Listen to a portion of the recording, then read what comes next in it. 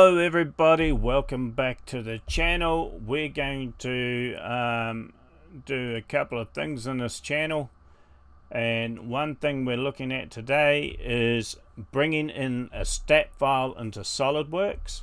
Um, I was working with some customers and uh, I just wanted to check out to see how we can do this but I'm going to take it one step further right I'm going to import a SAT file I'm going to convert it to a sheet metal part and save it as a SolidWorks file. Then I'm going to use my plugin for Radan Radbend and pass it into my bending software. Okay, so hey, another thing is make sure you uh, subscribe to the channel. That way you get all the notifications and all the videos.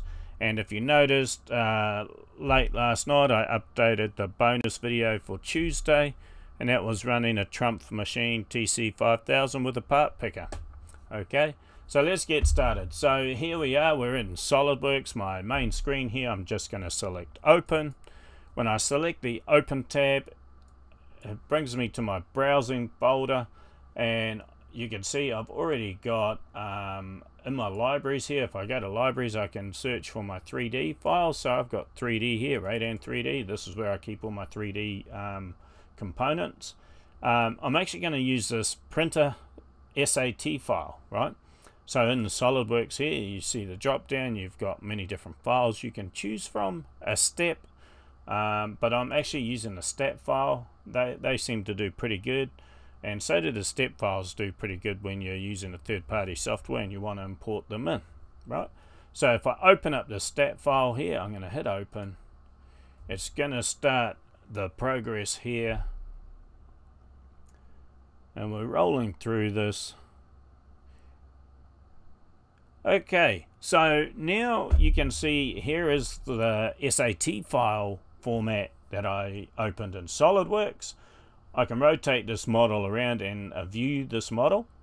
Okay so there's a couple extra steps you have to do in SolidWorks. I'm gonna hit um, I've got import diagnostics no faulty faces or gaps remain in the geometry Just going to hit OK to that.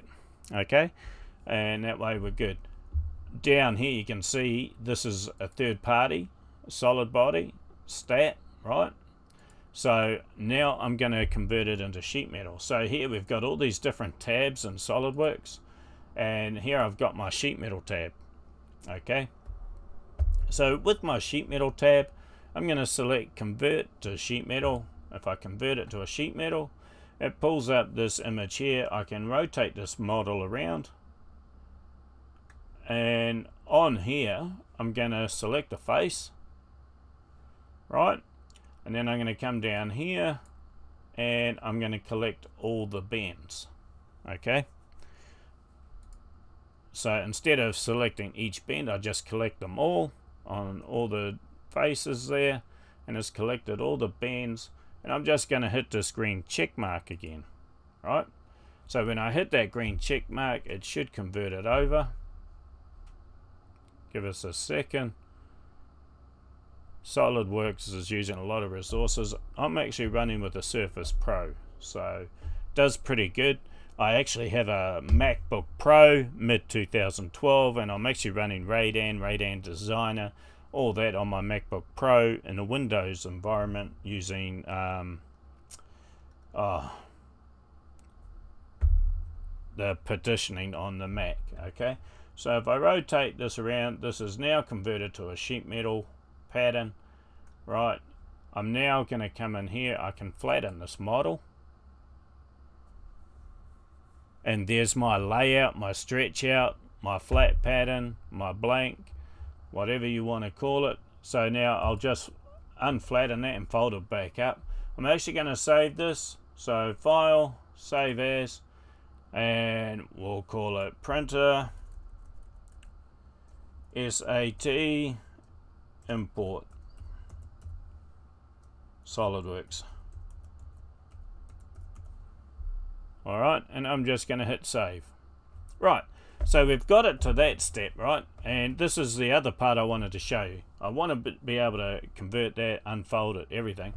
But in Radbend, when, when you're using offline bending, I can actually come in here and I can go um, up to the file menu here and I can go to tools and you can see I've got some plugins within SolidWorks or some add-ins I should say well I've got some other add-ins here where I've got RadBend and this is uh, offline bending software brought to you by Hexagon and the production software team there and um, works really well so if I come in here I can uh, export the part but I'm actually going to open the RadBend so if I open RadBend it should pop open.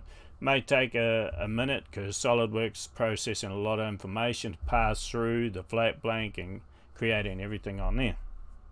Right? Why would you worry about passing this to an offline bending program? Right? Because you've done your sheet metal parts, you unfolded it. Well, what if you decide to change tools on the press brake?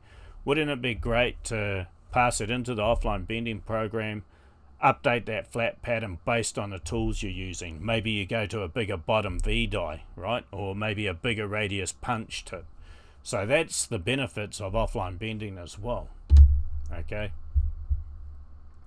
So it's opened up here and uh, there we go. It's launching it into RadBend. You can see all my bends in this in this case. So here's my flat bank, my flat blank, sorry. So take a look, keep an eye on this, my 17634 and my 49121 and we're going to come in here and I'm going to select a material, right? I'm just going to go with steel right now. Um, I'm actually going to select a machine. It loads my upper tool and lower tool and then I'm just going to hit automatic and I'm using my Wila tools here on this machine Okay, you may use tools from Wilson, you may use tools from Mate, you may use tools from everybody, wherever. Um, in this particular configuration, I'm using Wila.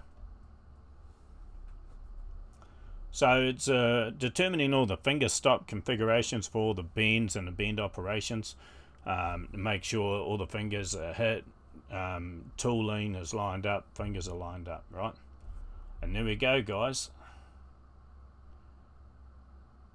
now we've got our program and you'll notice that our flat blank did change because of the tools we're using okay so now you can come in and you can sim simulation.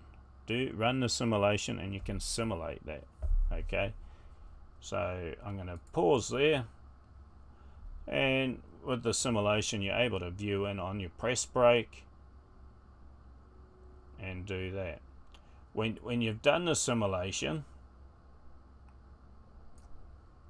you can then update the 3D pattern or the metadata and then you can up, unfold that as a DXF. If you're not using Radan for nesting and you're using something else but you're using RadBend for offline bending, you can do that there as well. Hey, that's it. Just wanted to show you, this was just a little bit extra to show you at the very end, right?